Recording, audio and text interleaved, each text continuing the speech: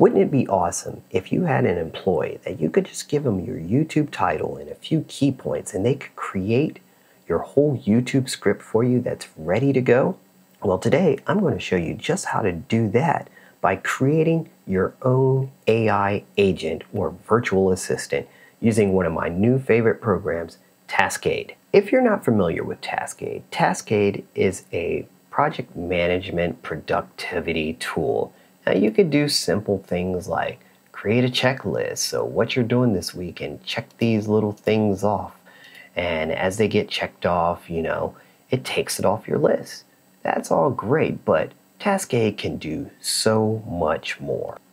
Taskade is AI powered productivity.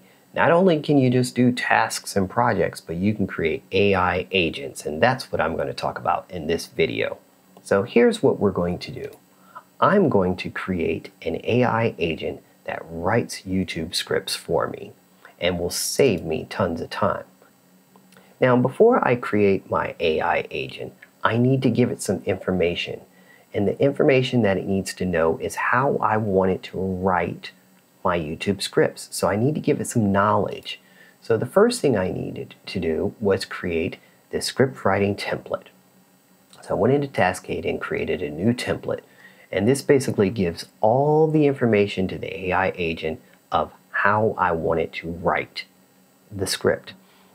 If you're not familiar with Ed from Film Booth, he put out a video about how to create YouTube scripts that are better than 99% of other YouTubers and scripts out there. So he talks about using the BENS method, which is basically an idea that's big, easy, new, and safe. Then for your title and thumbnail, the design should get the viewer to think. It should work off the following criteria. It should pose three big questions to the viewer, and then what are 10 other questions that the user might have based on your thumbnail and title. Then it should have various types of hooks in the video. So a question hook would be something like, are you struggling with your home to keep your home organized? Um, a story hook, um, something that grabs the reader's attention to pull them in. Them in. I never thought I'd be fighting for my life in a quiet suburban neighborhood, but here I was dodging bullets behind a minivan. So that's a good story introduction to like, whoa, what happened there that you had to end up hiding behind your van? And then you've got statement hooks. Imagine doubling your sale in just 30 days. That's a good statement, basically, to hook a viewer in. So I had to explain to it what those different hooks were and some examples for it. Then you have your setup. Video should talk about one to three exciting lessons that you want to teach or explain in the video. And there could be a list of things you want to cover in your video and do those past the BENS. Um, then you have your loop. It's another hook that poses another interesting question. You've got your lessons and points. This goes into more story and details about how you got to the point or understand or learn this certain thing. So you start off with story and then you end up um, making your point at the end of the story and then recap the story uh, with a point that you were trying to make and move on to the next lesson. Then finally, your call to action.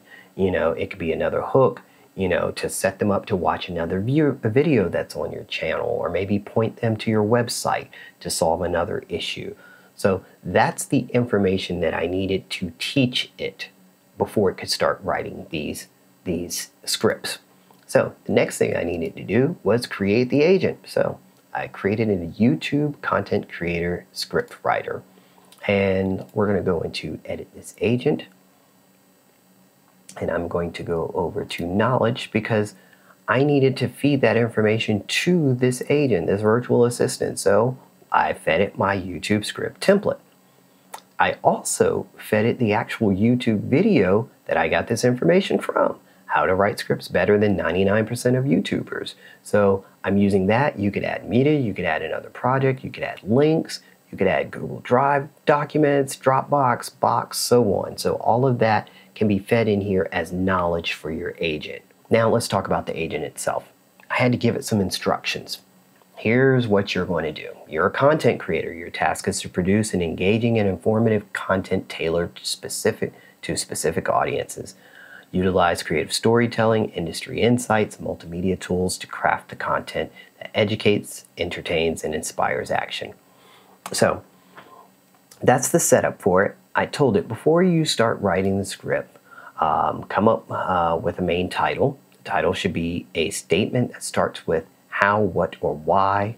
Also, give three alternative titles for the video that are catching that could hook the viewer give some ideas that could be used for the thumbnail of the video based on the title. Give me up to 10 questions that a viewer may ask based on the title and thumbnail. Be sure to include square bracket tags as section headings that are bold. Then I also told it, write the script for an engaging informative video on the specific topic. The script should start with a captivating introduction that hooks the audience immediately. You can add in a little bit of humor to keep the viewer engaged. Uh, use the hook to uh, type specific in the introduction, ensure that it aligns with our brand's voice.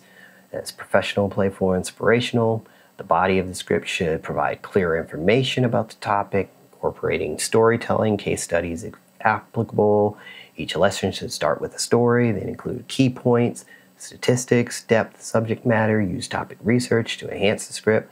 Um, play, plan for transaction or transitions between segments to maintain the viewer engagement, integrate interactive elements like questions and prompts for viewers to comment. Um, conclude with a strong closing statement that reinforces the key messages and includes a call to action to the relative relevant to our brand, such as visiting our website and so on. And then finally, use the following formula to output the script. Introduction, hook, lesson one, two, three, conclusion. So there you go. That is my virtual assistant, what I want them to do. I've given them knowledge, I've given them instructions on how to do their job, and now we're going to let it do its job. I created an automation to do all of this, and let's explain what the automation does. So I'm going to open this up, move this over here a little bit so you can see what's going on, and turn that off. So when a task is completed, this is what's going to happen. And I'm going to have it look at the project YouTube script prompts. So when that task is completed, do this. Ask the agent, my YouTube content script writer, to create me a script. So it's going to input whatever this checkbox was that it said on that checkbox there. And once I complete it, that's the input that the script writer is going to use. So I'm also going to ask the AI agent to copy the main title from the script. So it's going to look through this script that this creates and grabs the main title out of it. The input is going to come from, again, this AI agent here that I told it to create my script. Then I'm going to have it come down here and create the project. So why did I have it uh, get the main title? because I needed to put the title in here. So I said, ask for the AI result. So whatever this result was from here, it's put in as the title. And then the rest of the content, which is the actual YouTube script, that's coming up from what this AI agent did here. This is the automation. So let's see this automation in action. I'm going to go back into my projects. Here's my script from. Write a YouTube script based on the title, How to Work from Home with a Toddler. Lesson one is about setting up boundaries when you're in the office. Two is about finding independent play activities for your toddler to do. And lesson three is going to be about when you need to give your toddler undivided attention. Use a story hook type in the introduction, and which I talk about how I used to be stressed when working from home with my toddler. Also, include suggestions on scene setups for each lesson. All right, so all I have to do is check this box and my script is being created for me right now as I speak. So we can check that out to make sure it is doing its job by coming into automation, script builder, and runs. And as you can see, it started the run. It's 25%. Status is it's running. I have to flip back and forth here sometimes just to see the status, the progress change. But there you go. After about, uh, usually about 15 uh, to 30 seconds, no more usually than 30 seconds to actually create the project. I come back into projects. Looky here, how to work from home with a toddler. It created that for me. So this is the YouTube script that it created, and this is pretty awesome. Look at this. How to work from home with a toddler. That's the, the working title. But we've got these alternative titles here. What you need to know to work home with a toddler. Why working home from home with a toddler doesn't have to be stressful. How to balance work and parenting with a toddler at home. Then it tells me some ideas for thumbnails. Parent working at a desk on one side, toddler playing on the other, stressed expression on the parent's face, um, turning into a smile. You know, uh, parenting on a video call, holding a toddler, and a big bold survival tips. you know, so those are some great thumbnail ideas. And then we've got the potential viewer questions. How can I set boundaries? What is independent play activities are suitable for toddlers? How can I make sure my toddler is safe while at work? You know, all of these questions a viewer might have based off of your thumbnail and title. And you want to make sure you kind of answer these questions within your video. So let's go into the script part. Hey there, working parent. Are you struggling to manage working from uh, manage work and a toddler from home? Trust me, I've been there. I felt like uh, trying to juggle flaming torches while riding a unicycle. But guess what? I found my balance, and today I'm here to share how you can too.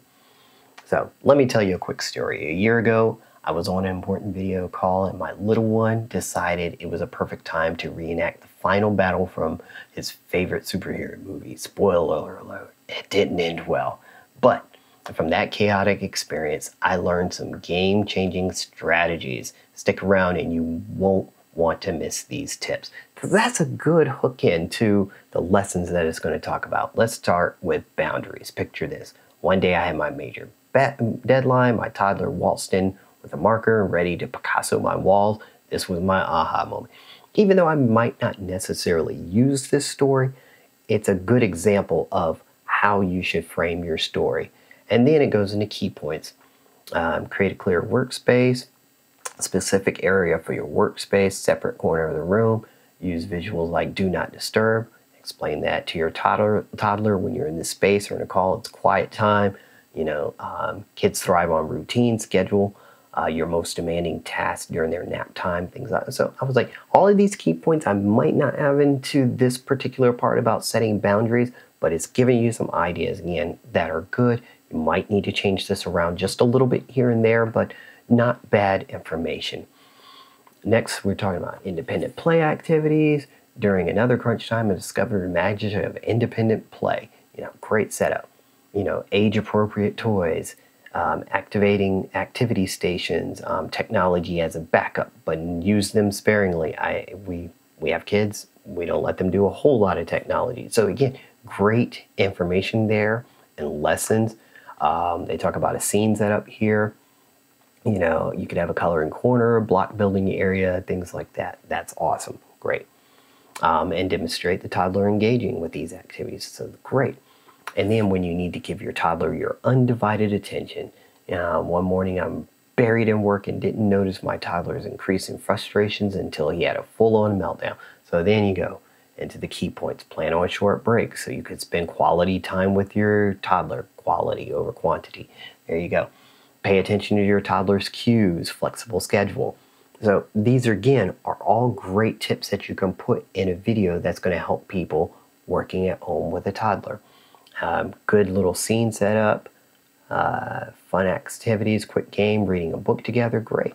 So again, I'd say 80%, 90% of this script is ready to go. I would tweak and change around a few things, but for the most part, it's done and it only took me literally seconds to do once my agent did all the work for me. All I had to do was put in the prompts and bloop, there you go. Didn't have to write any of this. Um, great conclusion, um, call to action, visit the website, you know, stuff like that. So I once I found out that Taskade could do this. I was hooked. I'm like, this is my new favorite AI tool. Yes, you can do this in ChatGPT and other things like that, but to have it in a document that's ready to go, all you have to do is export it out as a PDF or whatever, and you're good to go. If you want to learn more about Taskade, I have an affiliate link below, and that does help support this channel so I can put out more great videos like this. I do plan on doing a lot more videos here that help you with working and productivity and saving time. The more time I save, the more time I get to spend with my family. So I think that's where this channel is going to go into to talk about these type of things. And like I said, Taskade is one of the tools that I use that actually helps me save time. I hope you've enjoyed this video. This is Mark Warren. Like and subscribe and do all that other YouTube stuff, and we'll see you on the next one.